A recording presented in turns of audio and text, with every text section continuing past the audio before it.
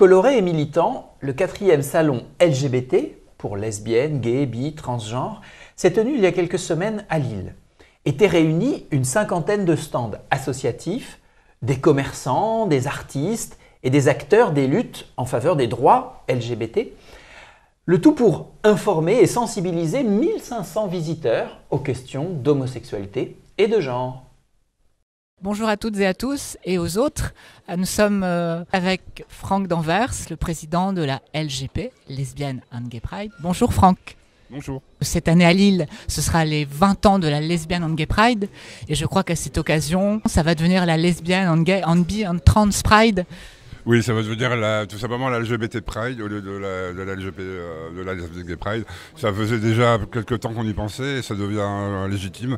Le nom de l'asso ne changera pas parce que c'est un nom et qu'on a plusieurs LGBT en France, mais effectivement, on doit inclure systématiquement l'été euh, dans, dans, les, revendications et dans le nom de l'association. Amnesty International est présent lors des Gay Pride. on a présenté au public une carte des Gay Pride plus ou moins dangereuses en Europe. Et tous les ans, il y a une Gay Pride où Amnesty va être présente comme observatrice pour regarder ce qui se passe. Donc moi je suis délégué euh, Nord-Pas-de-Calais de l'association SOS Homophobie. Euh, donc une association nationale et en région, euh, notre action est principalement axée sur les interventions en milieu scolaire. Donc on sensibilise chaque année des milliers d'élèves dans les collèges et les lycées pour faire de la prévention contre les LGBT-phobies.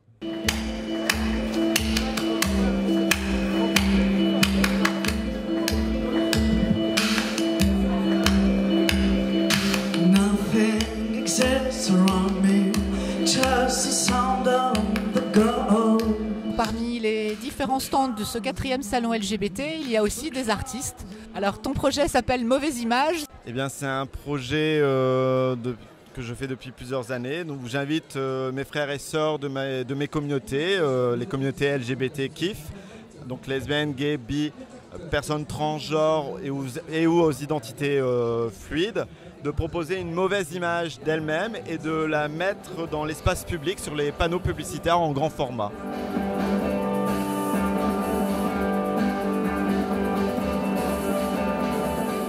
Poursuivons notre promenade dans le quatrième salon LGBT de Lille et je suis avec Delphine sur le stand Homo Vert. Bonjour Delphine.